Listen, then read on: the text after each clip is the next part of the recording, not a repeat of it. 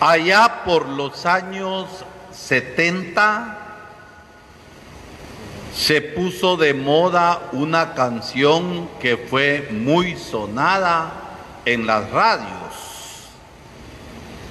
Una canción de Rocío Durcal que se llama Amor en el aire.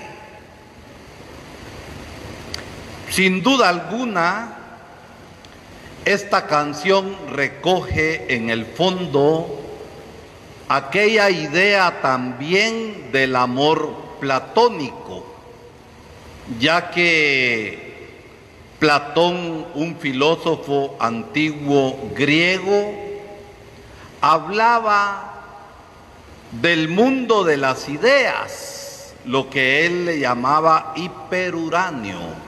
Y el hiperuráneo era precisamente este mundo de las ideas.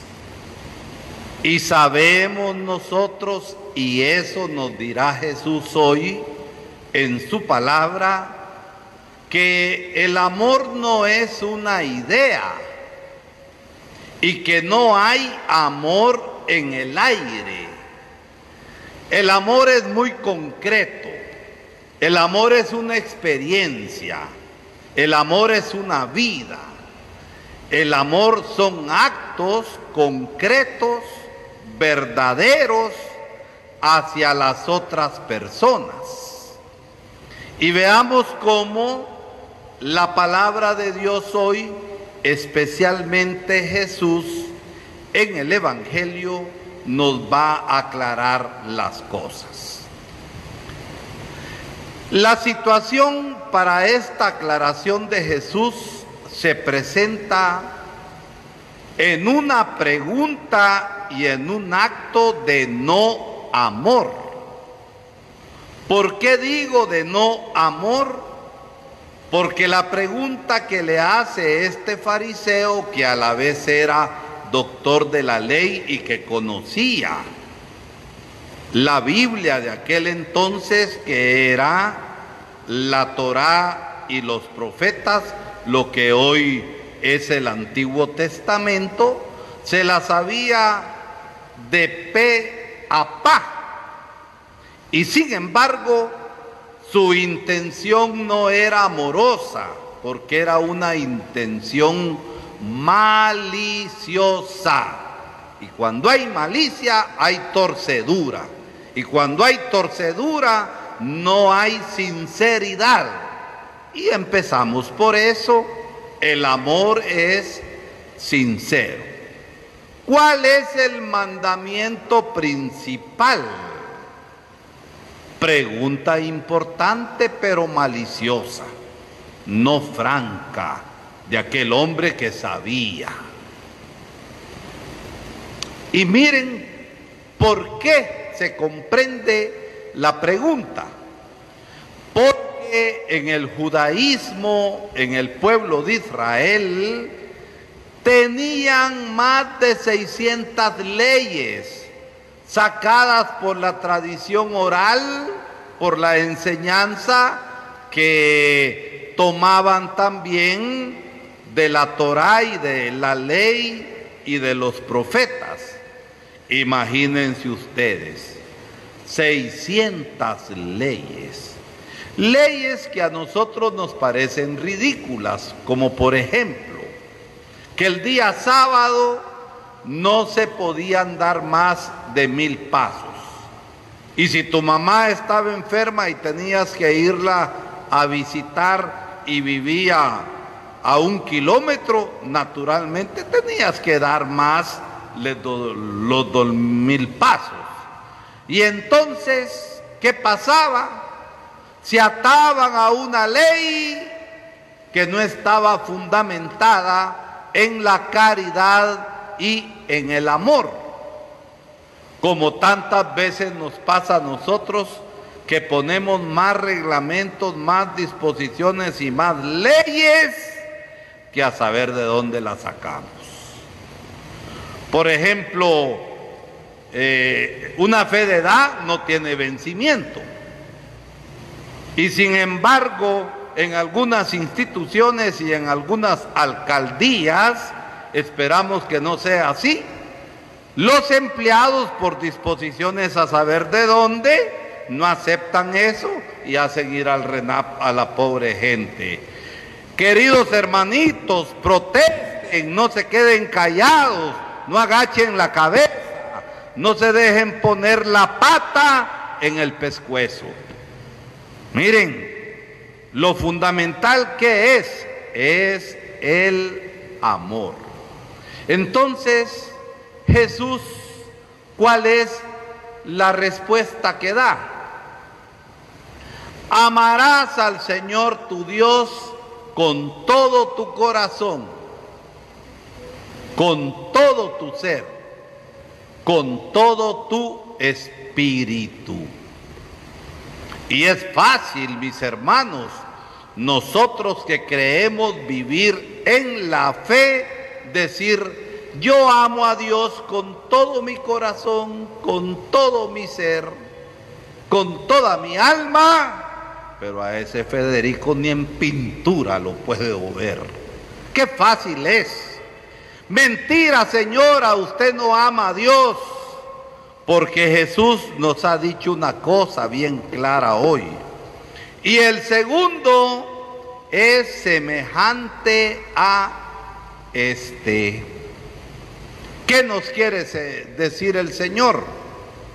Que el prójimo, la otra persona, es la prueba, es la mediación de que nosotros amamos a Dios. Es decir, nuestro amor a Dios si no pasa por el hermano al que debo servir, al que debo perdonar, al que debo tolerar, al que le debo hacer justicia.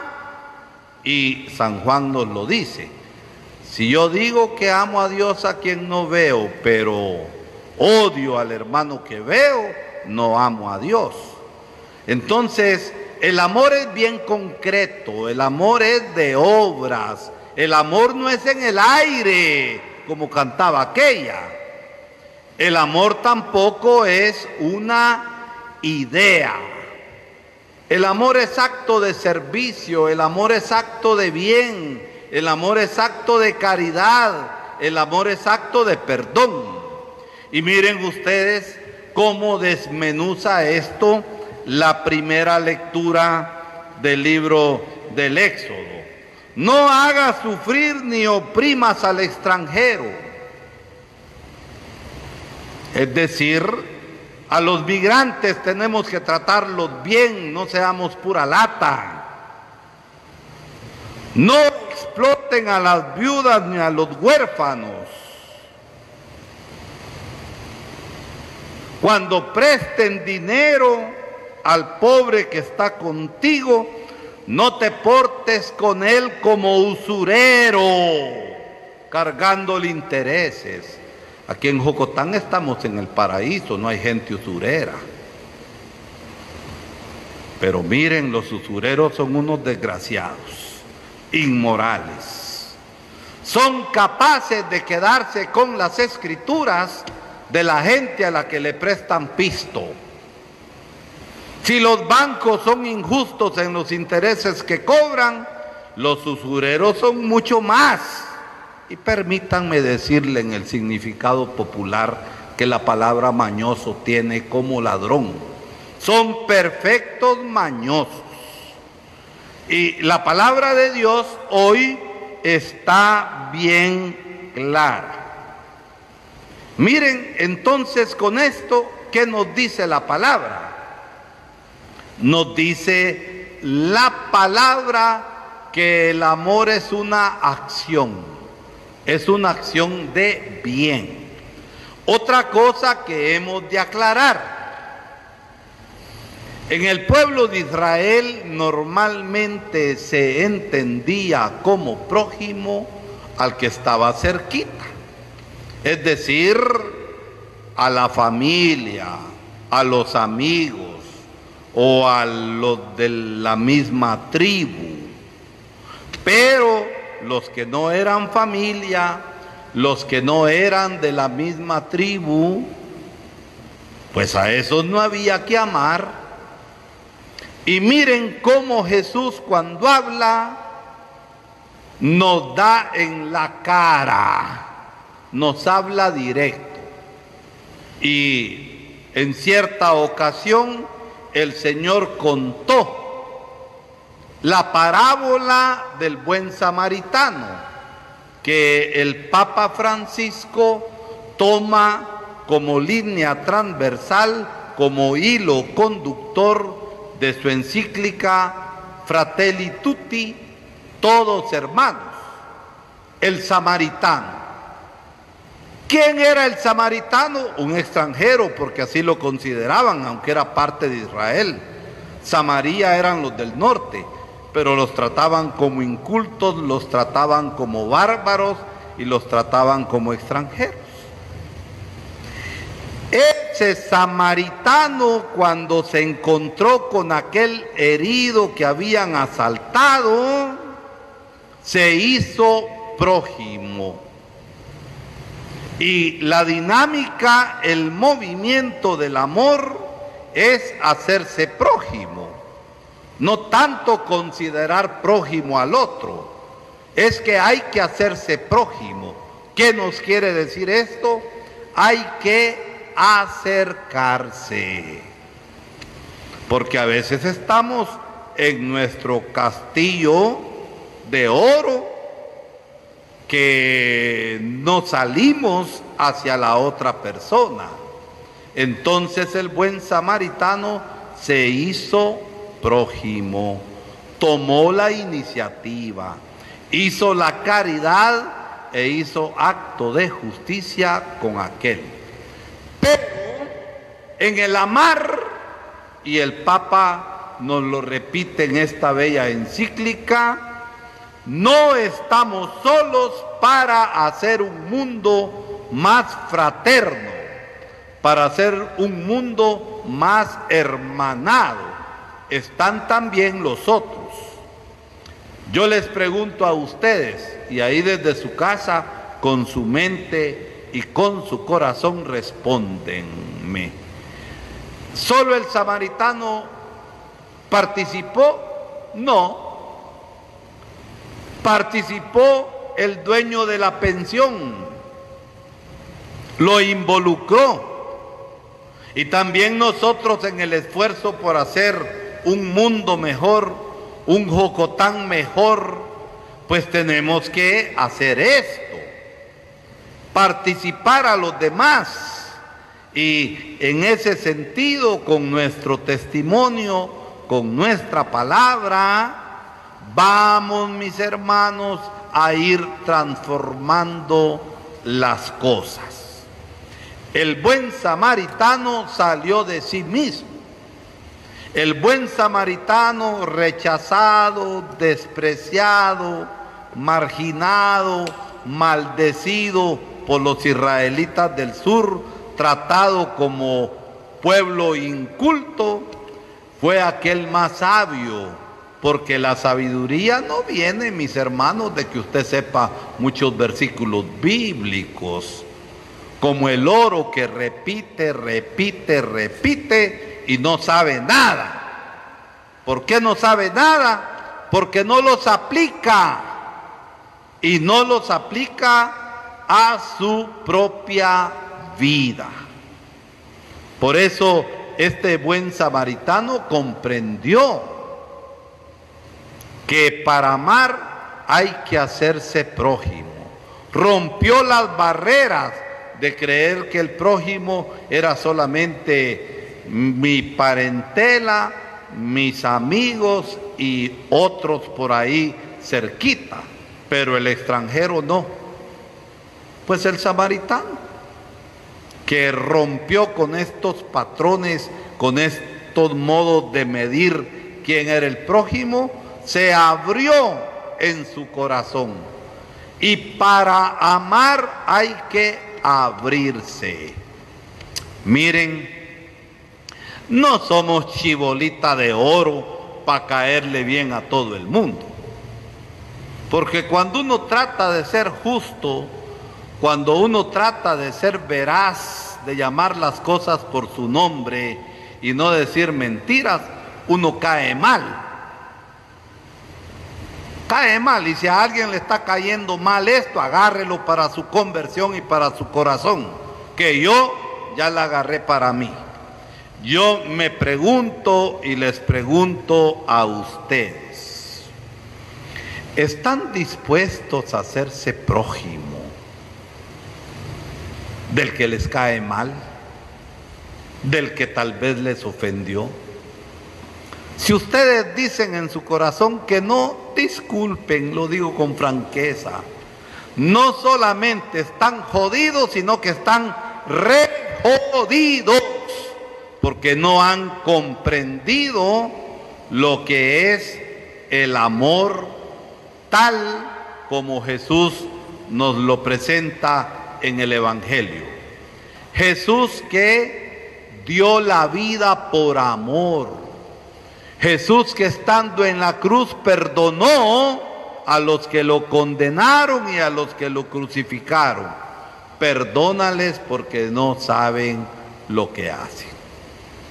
Y la carta encíclica del Papa nos habla de esto, de hacer un mundo más hermanado, más amoroso, un mundo más humano, y nos habla del amor como el camino, pero es un camino que hemos de seguir a nivel personal, convirtiéndonos. Es un camino que hemos de seguir a nivel comunitario y a nivel social para que los pueblos se hermanen, para que no haya más guerras, porque la guerra es el fracaso de la política para la humanidad. Y yo me pregunto, ¿y cuando hay guerra en la misma comunidad? Cuando hay guerra en la misma iglesia porque no hemos entendido y los grupos como que estamos en competencia. Miren, dejémonos de vainas, convirtámonos. Y cuando hay guerra en la propia familia, si a veces cuando la mamá pone la comida entre los mismos niños, hay unos que se adelantan para agarrar el mejor pedazo y dejar a los otros sin el mejor pedazo. Miren, esas son actitudes ya, actos ya que están manifestando cómo nos hace falta entrar en el camino del amor. No es cierto que lo mejor lo agarramos para nosotros y que se jode el otro. No se puede. La medida de nuestro amor a Dios está en el amor al hermano. Y el Papa toca un aspecto que es fundamental para el bienestar de los pueblos.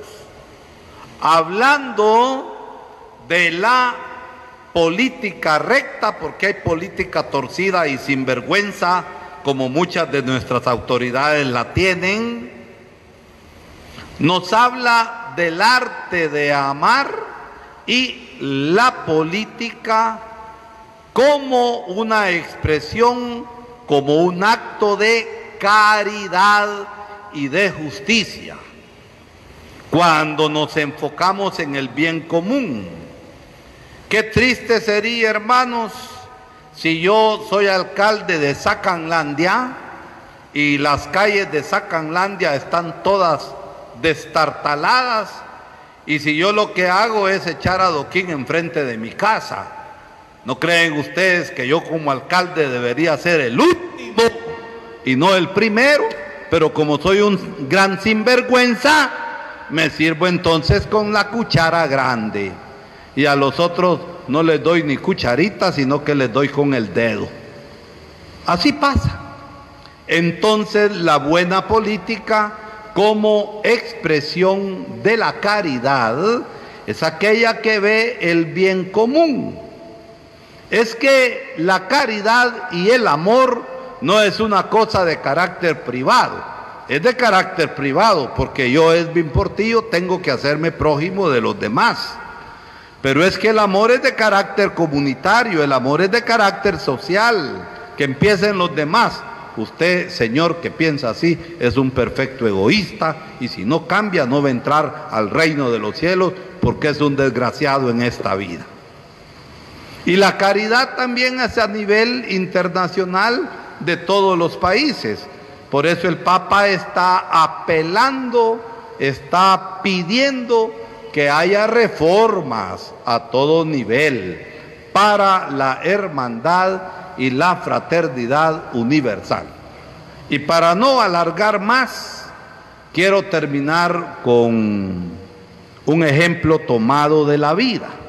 Miren, tanto escándalo que han hecho atribuyéndole y haciéndole decir al Papa cosas que no dijo, porque las mentiras, por más que se repitan, serán verdades, piensan así los mentirosos y los calumniadores.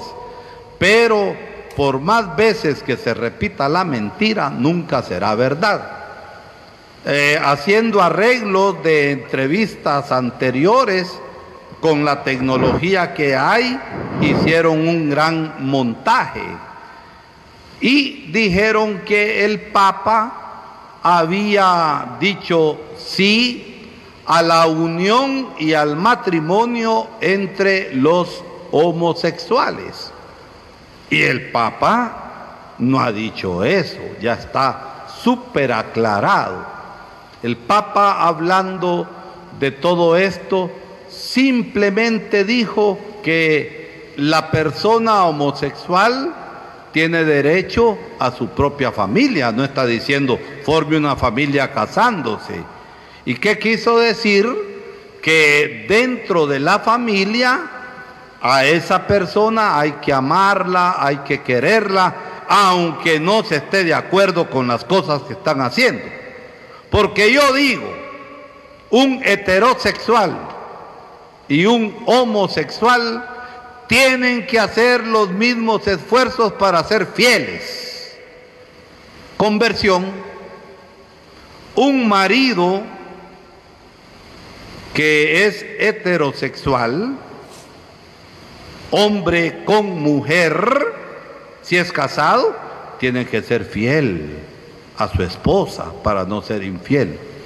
Una persona homosexual tiene que ser fiel también a sí misma y no haciendo lo que no debe hacer. Se ama al pecador, se está con esa persona aunque no se esté de acuerdo con las cosas chuecas que está haciendo.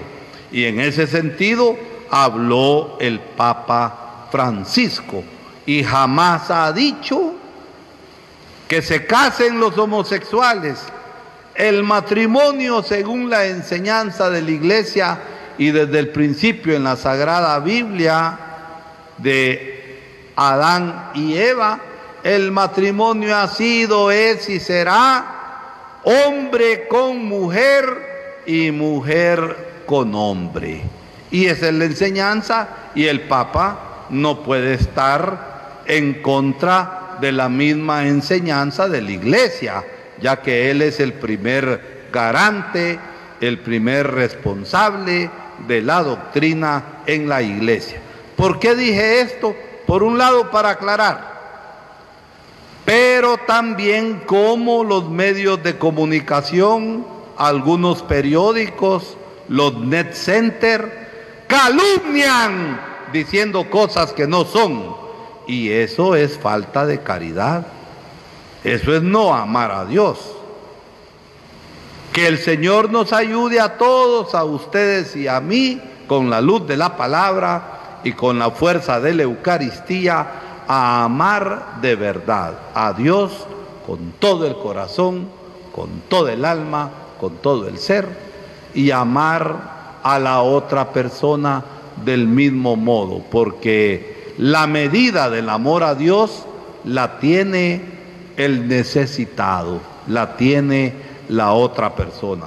Fuera de eso, si usted dice que es cristiano o cristiana, no es absolutamente nada y es peor que una persona atea. Que el Señor nos ayude a vivir pues este mandamiento del amor.